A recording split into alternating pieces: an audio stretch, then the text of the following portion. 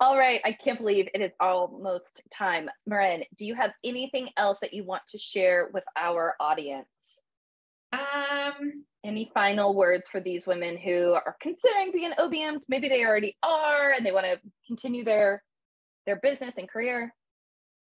Yeah, I mean, I, I just I guess my closing thoughts would be the world needs more of you. And um, I think collectively there's an opportunity for you, for prowess, for people like me to educate business owners that there are solutions out there.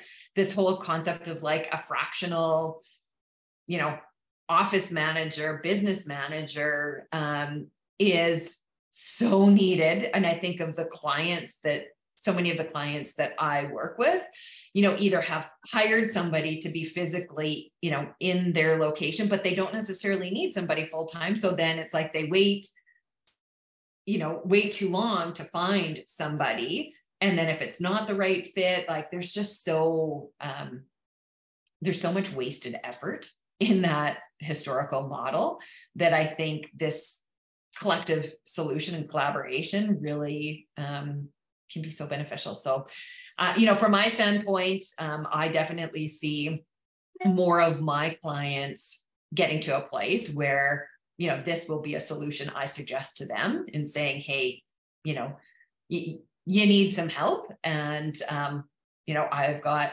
I've got the place to go to. So